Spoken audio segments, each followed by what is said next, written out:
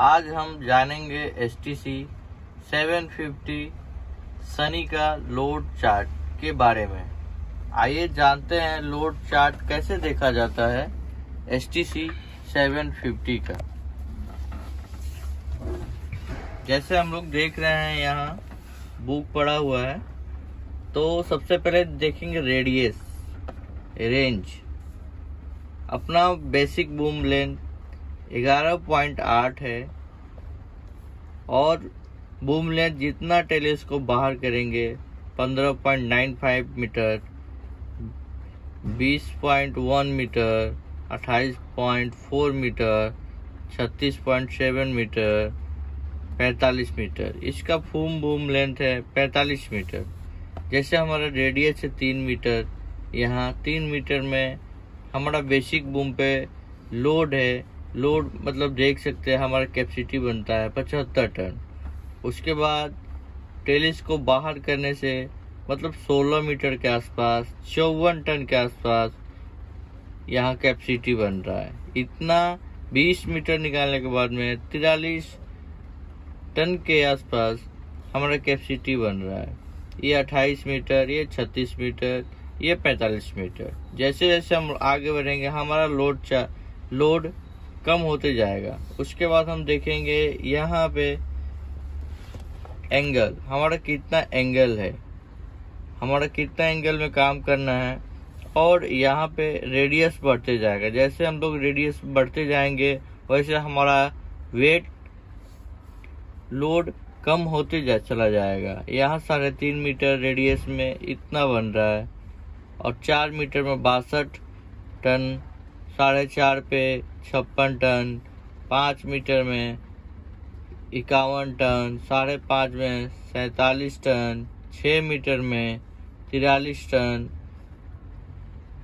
साढ़े छः में उनचालीस टन, सात मीटर में पैंतीस टन, साढ़े सात मीटर में तीस टन, आठ मीटर में छब्बीस टन, नौ मीटर में बीस टन। उसके बाद जैसे जैसे हमारा बूम लेंथ बड़ा होगा। जैसे 20 मीटर में हम आ गए।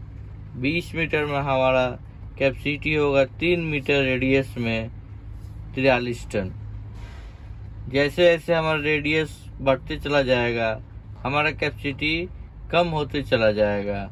जैसे तिरालीस टन हो गया साढ़े चार मीटर में।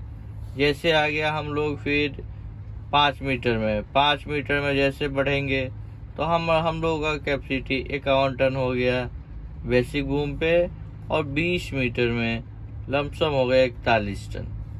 उसके बाद कम होते चला जाएगा।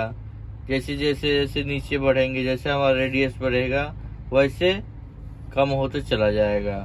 उसके बाद सबसे नीचे आ जाइए, तिरसठ छः टन तीन सौ के जी हमारा यहाँ बनेगा सोलह मीटर रेडियस में और ये 20 मीटर बूम निकले, बूम लेंथ पे हमारा सबसे लास्ट बनेगा छः टन के आसपास कैपेसिटी ठीक है?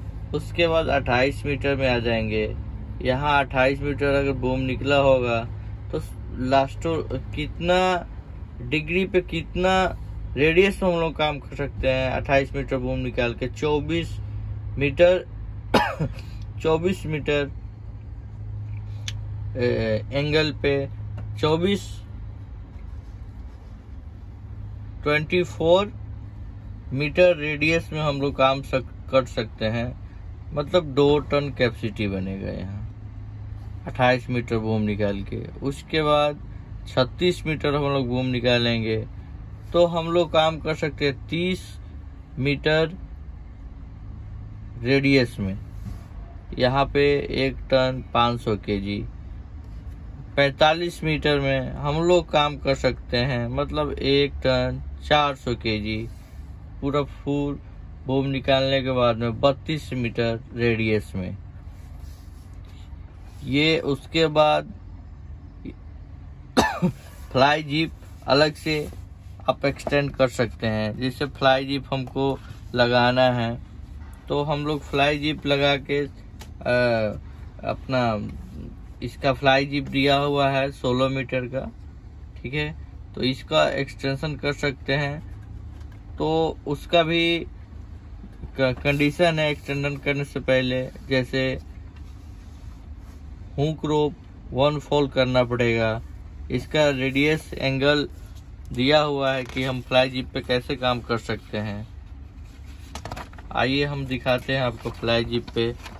कितने एंगल में काम कर सकते हैं। ये फ्लाई जिप का हो गया, अपना फ्लाई जिप जैसे लगता है।